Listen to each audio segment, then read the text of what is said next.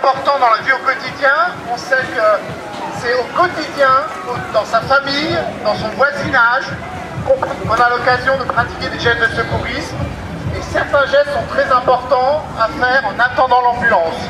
Une ambulance, quand on a prévenu le 144, met en moyenne 7 minutes pour arriver sur le blessé.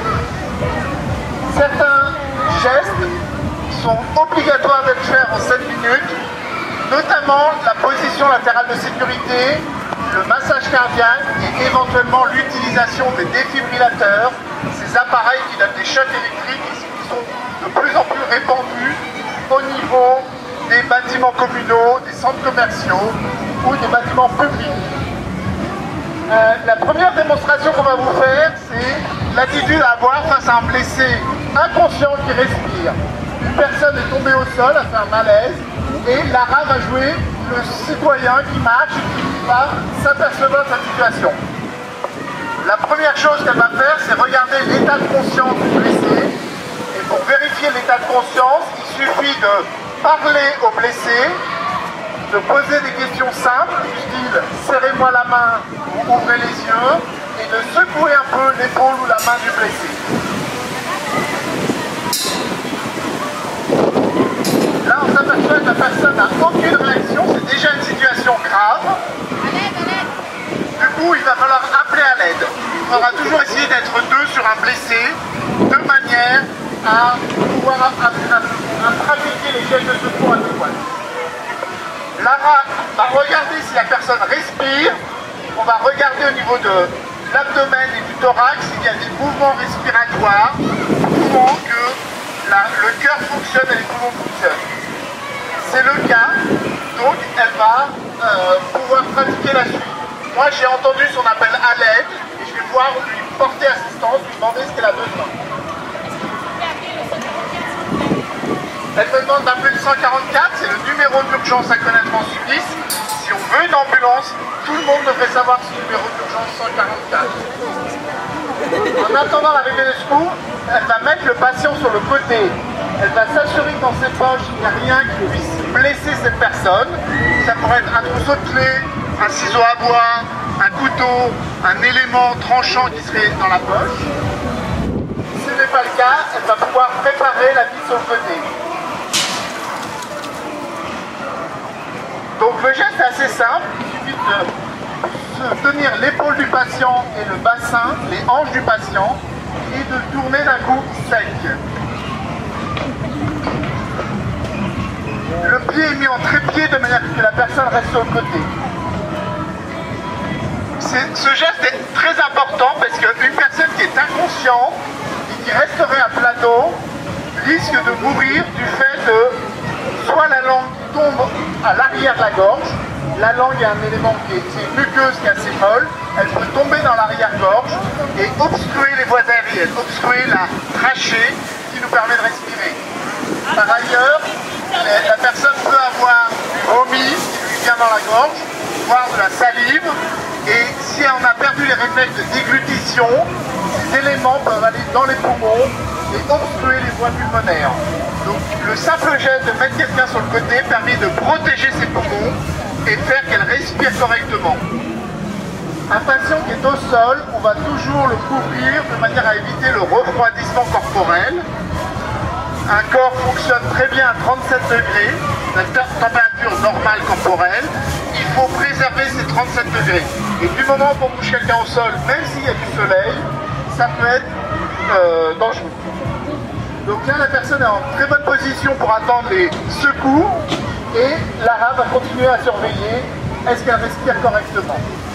Car le risque, c'est qu'elle arrête de respirer. Dans ces cas-là, il faudrait faire le massage cardiaque et c'est la deuxième démonstration qu'on va vous Merci Lara. Merci Natacha qui nous le blesser. On va faire une démonstration du massage cardiaque. Merci pour vos applaudissements. On va vous montrer le massage cardiaque et l'utilisation du défibrillateur semi-automatique. Donc la technique est toujours la même au début. Il faut vérifier que cette personne est consciente. Ça on va le faire en lui parlant, en secouant le bras et l'épaule. Et si ce n'est pas le cas, on va déterminer qu'évidemment elle est inconsciente. Et là on va filer à l'aide, faire venir quelqu'un.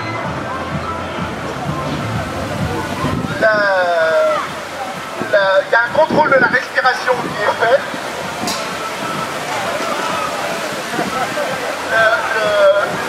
Lara va demander aux témoins de vérifier s'il n'y a pas un défibrillateur euh, la commune et d'alerter le 144 pour faire venir l'ambulance. Lara va commencer le massage cardiaque. Le massage cardiaque se fait toujours sur un torse nu faut défaire l'événement pour, pour pouvoir travailler au milieu du thorax. On positionne le talon de la paume de la main au niveau du milieu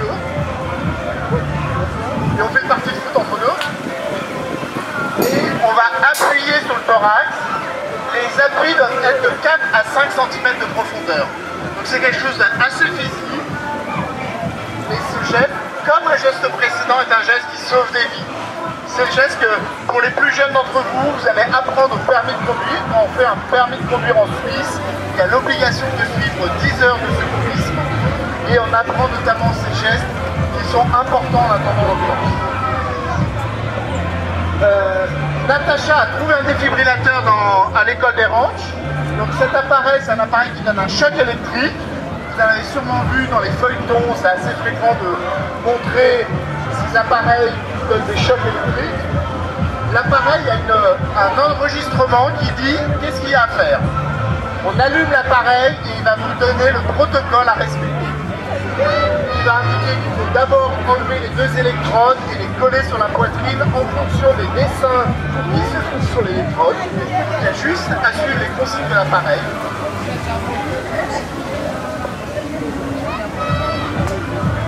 les électrodes sont positionnées de part et d'autre du cœur humain. En attendant, Lara continue à faire le massage cardiaque de manière à alimenter le cerveau en oxygène. L'appareil va faire un contrôle du rythme cardiaque. À ce moment-là, il faut arrêter de toucher le blessé, car l'appareil va s'assurer qu'on donne un choc électrique à quelqu'un qui vient en arrêt cardiaque.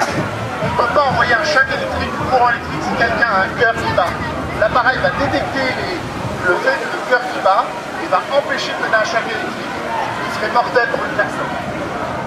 L'appareil fait son analyse, indique qu'il n'y a pas de rythme cardiaque et qu'il faut donner un choc électrique. Là aussi, il faut se pousser, le choc électrique est donné, ce qui permet de synchroniser le cœur humain. Une fois que le choc est donné, on va continuer à faire le massage cardiaque sur la personne. Et ça, on va le faire jusqu'à l'arrivée des secours ou alors que la personne reprenne,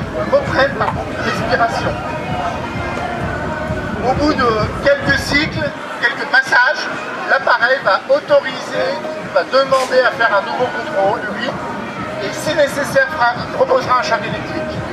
L'appareil peut choquer plusieurs fois une personne, ça dépend de l'arrivée des secours. Si les secours ne sont pas là, je vous ai dit 7 minutes, c'est une moyenne. Si on est à Châtelaine où il y a une base d'ambulance, peut-être qu'on a une ambulance en une minute. Si on est un peu à l'extrême canton, et surtout si c'est le soir beaucoup d'embouteillage, on peut monter jusqu'à une demi-heure en attendant l'ambulance. Il faut effectivement que l'appareil puisse donner plusieurs chocs. Il que tout public puisse faire ce geste de massage cardiaque. Le rôle en faisant le massage du cœur, c'est que le sang qui a de, l'oxygène va pouvoir distribuer cet oxygène dans toutes les cellules du corps humain et surtout préserver le cerveau, qui est la partie importante, parce que là on ne peut pas greffer des neurones, on ne peut pas greffer un cerveau, il faut vraiment assurer l'oxygénation du cerveau de la personne.